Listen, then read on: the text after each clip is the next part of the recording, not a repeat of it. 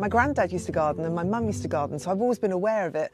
And I started off with a tiny garden. We did lots of pots and planted sunflowers, and now I've got a larger garden, and it's my sanity. I, I mean, I absolutely love it. I can't wait for April, May, June time when there is so much to be done. I love weeding, I love the whole lot. Honestly, it's really cathartic.